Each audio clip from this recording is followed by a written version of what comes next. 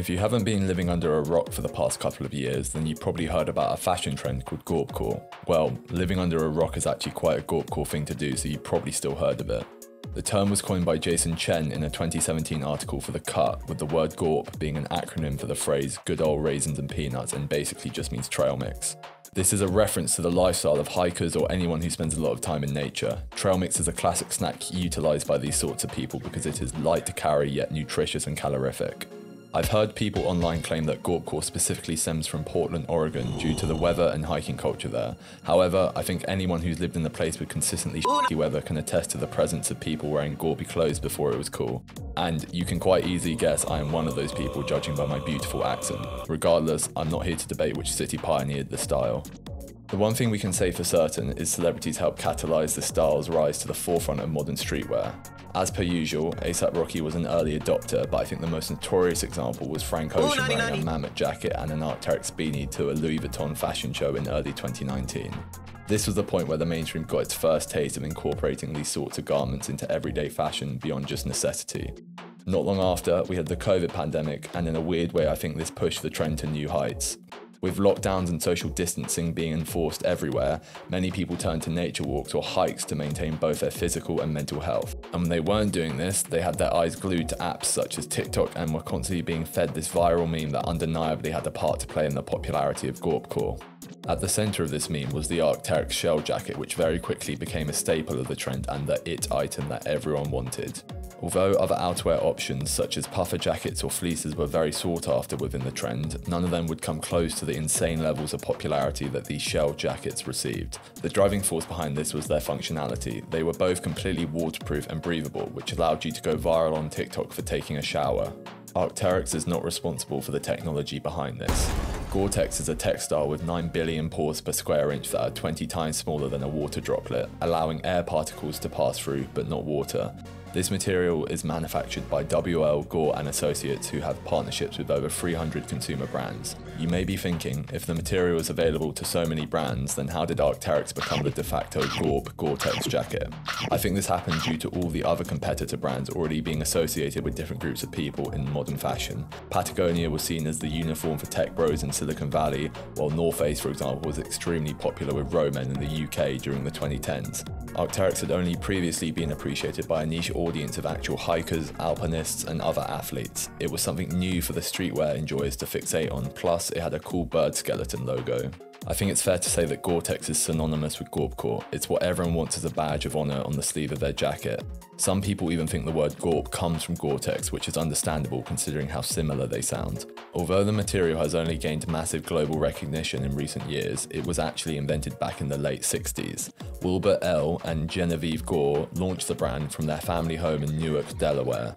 Wilbert left his job at DuPont to pursue this venture as he was a firm believer that the polymer polytetrafluoroethylene had an immense amount of untapped potential. This material is more commonly known as PTFE or even more commonly known as Teflon. You know, the stuff that made non-stick pans work but turned out to be potentially toxic to humans. Ooh, that's a little bit of foreshadowing for you, but we'll get to that later. In 1969, Wilbert's son, Bob, discovered that if you rapidly stretch PTFE under certain conditions, you can create an incredibly strong and microporous material that has low water absorption and good weatherproofing properties. This was subsequently named ePTFE or expanded polymer polytetrafluoroethylene and then used to create the product Gore-Tex. Gore went on to make a multitude of different products and technologies and ultimately became extremely successful and an absolute titan in the textile industry. During the mid 2010s, the environmental pressure group Greenpeace started campaigning against the use of hazardous chemicals in the fashion industry. The Detox My Fashion campaign had a large focus on per and polyfluoroalkyls, or PFAs for short, a quick note, this group of chemicals were previously referred to as perfluorochemicals or PFCs, so if you go on to do your own research on this subject, which I encourage you do, then just be aware that these two names are generally referring to the same thing. PFAs do not break down in the environment and have been detected in ecosystems across the globe, including some of the most remote regions of the planet. These chemicals are known to be carcinogenic and have hormonal effects. So, how does this all tie in with Gore-Tex? Well, ePTFE, aka the Gore-Tex membrane, requires the use of PFAs as an auxiliary agent during the material's production. Additionally, the coating that is applied to the fabric requires PFAs to function as well as it does. This coating is called Durable Water Repellent or DRW and is responsible for the water repellent properties of Gore-Tex, including the beading, which was the feature of Arc'teryx jackets that completely captivated the fashion community during the rise of Gorpcore. The Greenpeace campaign shed light on the fact that the outdoor clothing industry was one of the worst environmental offenders when it came to using PFAs. These products were designed to enable consumers to spend time in natural environments, yet they also played an active role in damaging them. Unsurprisingly, lots of hikers, runners, campers, climbers, and skiers were very happy to support this campaign, which put pressure on a lot of brands. The first companies to sign PFA free commitments were Paramo, Rotauf, and Vaude. Not long after, over 150 activities were organised globally by people in the outdoor community to demand that other companies such as the North Face, Mammut, and Haglofs follow suit. Subsequently, many of these brands pressured Gore to eliminate their use of hazardous PFAs as they were the industry leader in supplying waterproof membranes to the outdoor industry. In 2017, the Gore Fabrics division finally announced it would commit to phasing out PFAs of environmental concern from its general outdoor weatherproofing laminates by the end of 2020 and from its specialized weatherproofing laminates by the end of 2023. Now, before you applaud Gore for making this pledge, you should know that they not only missed the 2020 deadline, but they also pushed it back half a decade to 2025 due to issues with product development and scaling challenges.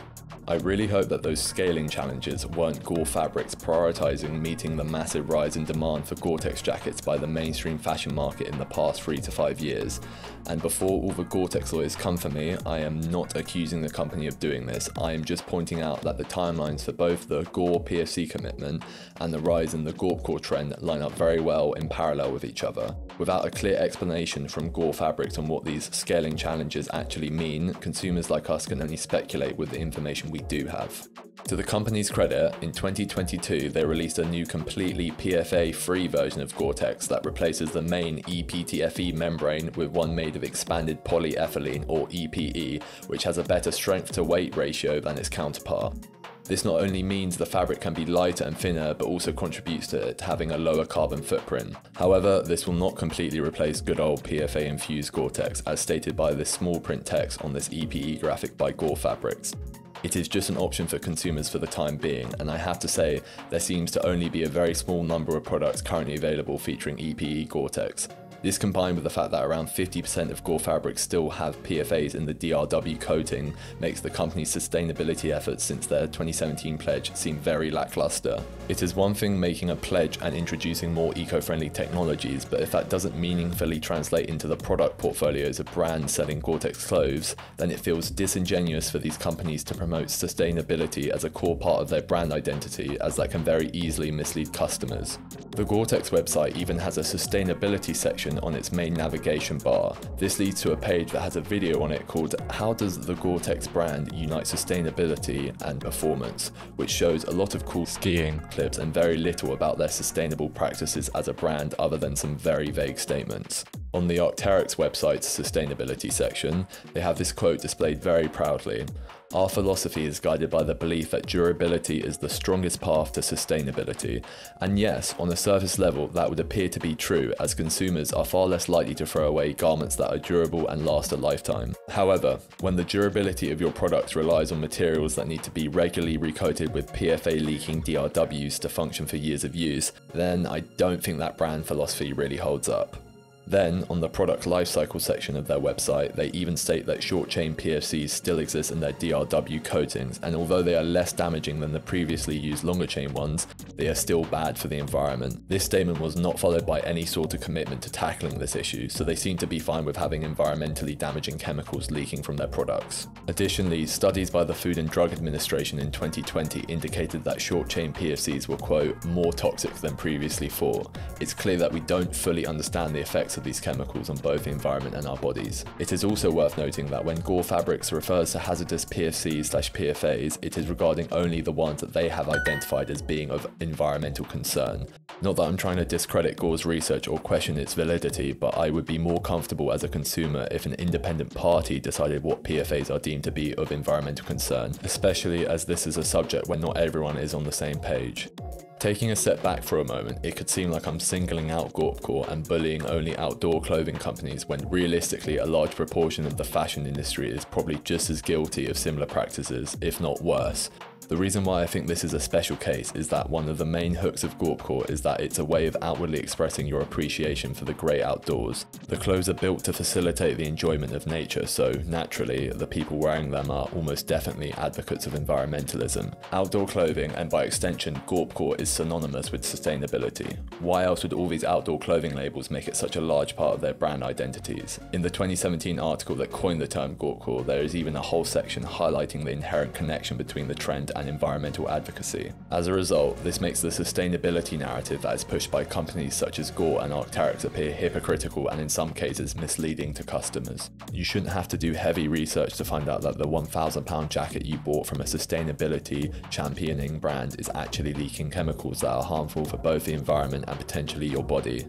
Gorpcore was also propelled to new heights of popularity thanks to trend riding motherfuckers who only cared about the aesthetics. It is very unlikely they got an Arc'teryx jacket because they care about the environment, but I guess that's pretty in line with their product consumption habits and their wardrobes full of fast fashion. However, with any fashion trend related to an activity, there will always be a pressure to adopt the lifestyle or risk being seen as a poser.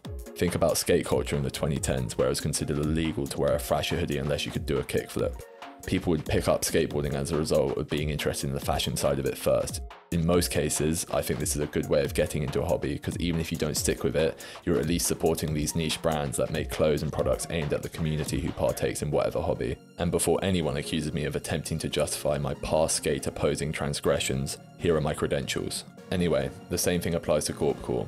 The difference is you need a fit pick on the side of a mountain to justify your wardrobe full of baggy nylon trousers and Gore-Tex jackets. If you're into fashion and have been on social media at all over the past few years, then I'm sure you've noticed the rise in previously city-bound people suddenly posting pictures from a field in the middle of nowhere. Yes, it's great more people are enjoying Mother Nature, but it has become very romanticized on platforms such as TikTok, and it is treated almost like an accessory to the clothing rather than the whole purpose. The number one rated hike in the UK. Let's see if it deserves that title. I don't know if you have ever wondered what happens on a Gorp Girl hike. Uh, the release of harmful PFAs into those natural environments you're hiking through, apparently. I'm just joking. The aim of this video is definitely not to shame individuals like the people in these TikToks or any other consumers for buying Gore-Tex products.